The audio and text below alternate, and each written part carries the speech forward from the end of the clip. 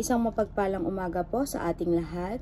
So, ngayon po ang ating pong teksto ay matatagpuan sa mga taga-Epeso, Kabanata isa, mga talata, tatlo hanggang labing apat. Pero bago po natin basahin, sabay-sabay po muna tayo manalangin. Sige.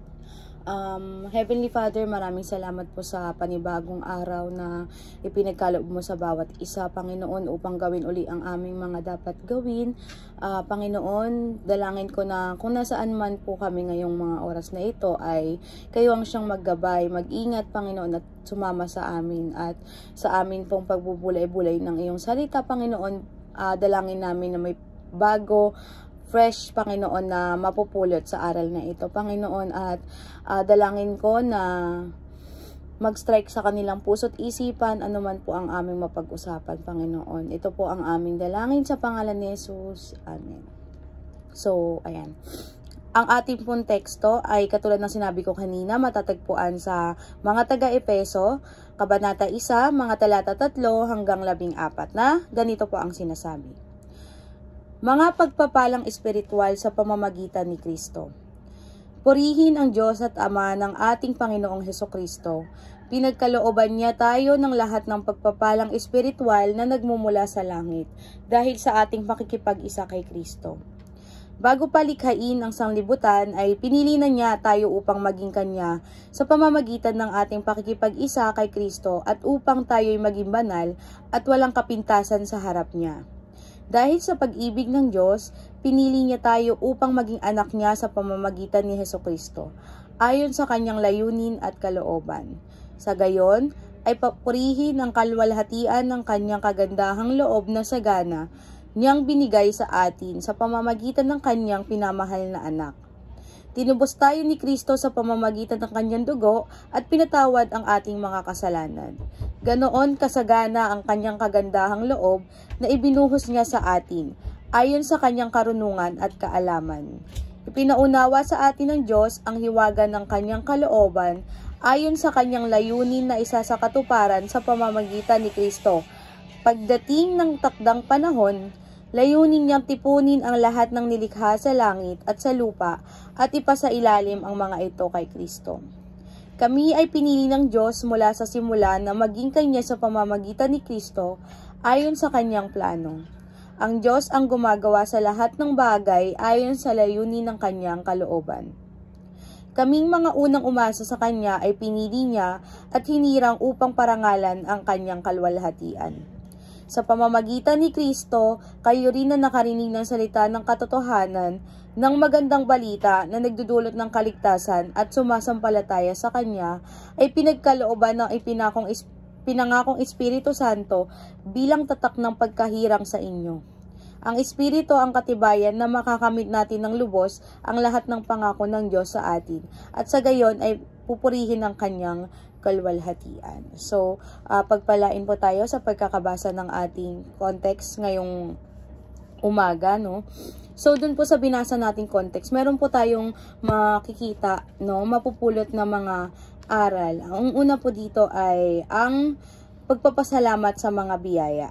Tinuturo ng talata na dapat tayong magpasalamat sa Diyos sa lahat ng oras dahil sa mga espiritual na biyaya na ibinibigay niya sa atin, no? Katulad lamang po ng mga blessing na nakukuha natin araw-araw, yung buhay na pinagkaka uh, pinahiram sa atin, yung mga araw no na patuloy na ibinibigay ng Lord sa atin kahit na maraming uh, pagsubok, mararamdaman natin na nandyan siya sa atin na kasama natin. Next, yung pakay ng Diyos. Uh, ipinaw Pinaunawa dito na ang pagkakaloob ng kaligtasan at pagiging bahagi ng pamilya ng Diyos ay bahagi ng kanyang plano at kalooban. So, ayun daw yung pakay ng Diyos, no, na makikita natin sa talata. Next po ay ang biyaya sa pamamagitan ni Kristo. Mahalaga ang papel ni Kristo sa ating kaligtasan. Siya ang nag-ambag ng kanyang buhay para tayo'y maligtas at mapatawad sa ating mga kasalanan. No? Katulad po ng sinabi dun sa talata na uh, Pagdating ng takdang panahon, layunin niyang tipunin ang lahat ng nilikha sa langit at sa lupa at ipasailalim ang mga ito kay Kristo. No? At sinabi din sa uh, verse 9, ipinaunawa sa atin ng Diyos ang hiwaga ng kanyang kalooban ayon sa kanyang layunin na isa sa katuparan sa pamami- pamamagitan ni Kristo. And doon sa 7, na tinubos tayo ni Kristo sa pamamagitan ng kanyang dugo at pinatawad ang ating mga kasalanan. So doon po lang po makikita yung kahalagahan ng role ni Jesus no sa ating uh, kaligtasan. Next ay ang pag- pagiging bahagi ng kaligtasan. So kung naligtas na tayo, tayo ay bahagi na nito. Ipinaunawa sa atin na sa pamamagitan ng pananampalataya kay Kristo, tayo ay tinawag na maging bahagi ng kaligtasan at maging tagapagmana ng mga pangako ng Diyos. So, dahil tayo ay pinili, no, at niligtas sa pamamagitan nga ni Kristo, katulad ng kanina sinabi ko, no, tayo ay bahagi nito at bilang bahagi nito, kailangan nating gawin yung, yung role natin bilang tagapagmana ng pangako ng Diyos.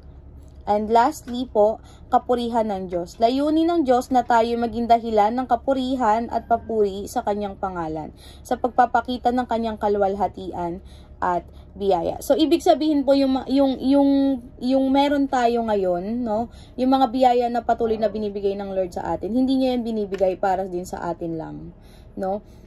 Binibigay niya ito para din sa kanyang kapurihan, no? Pupurihan natin siya, pasalamatan, no? I-acknowledge, i-appreciate yung mga patuloy na binibigay niya sa ating buhay, no? Kaya nga kapag may mga nakukuha tayong achievement or may mga tao tayo nakikita na no, na may humility, ano lagi nila sinasabi? Papuri sa Diyos. No? To, to, to God be all the glory, no? Kasi yung mga biyaya na patuloy nating natatanggap, hindi yan binibigay ng Lord para lang itaas yung sarili natin. No, kundi tayo din maging humble sa sarili natin na hindi natin siya nakamit on our own, kundi kasama natin ng Diyos. Or ang Diyos sa kanya nagmumula ang lahat ng kapurihan. Ang mga aral na ito ay nagbibigay sa atin ng malalim na pag-unawa sa kahalagahan ng biyaya ng Diyos, ang papel ni Kristo sa ating kaligtasan at ang pangako ng Diyos sa mga mananampalataya. So, ayan po ang ating uh, makikita dito sa text natin, dito sa mga taga-Epeso, no? Na uh, malaki yung, yung papel ni, ni Kristo sa ating kaligtasan at yung pangako ng Lord sa ating mga patuloy na nananampalataya sa Kanya.